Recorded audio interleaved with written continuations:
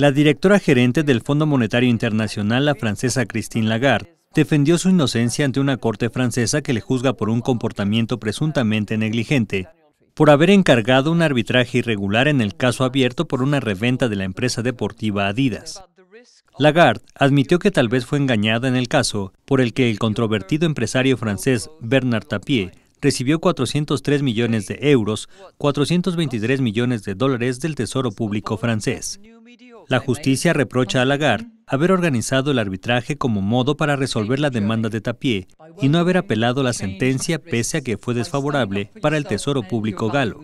Lagarde será juzgada por la Corte de Justicia de la República, un tribunal de excepción creado para juzgar delitos cometidos por miembros del gobierno francés durante el ejercicio de sus funciones, que solo se ha reunido cuatro veces anteriormente. La Corte está formada por 15 jueces, 6 senadores, 6 diputados y 3 magistrados. Si Lagarde es considerada culpable, podría ser condenada hasta un año de reclusión y 15.000 euros de multa.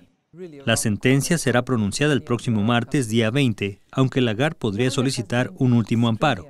Hasta el momento, el Fondo Monetario Internacional ha dado su apoyo a su directora gerente, pero algunos medios y analistas franceses consideran que si Lagarde es condenada, debería renunciar y dejar el cargo.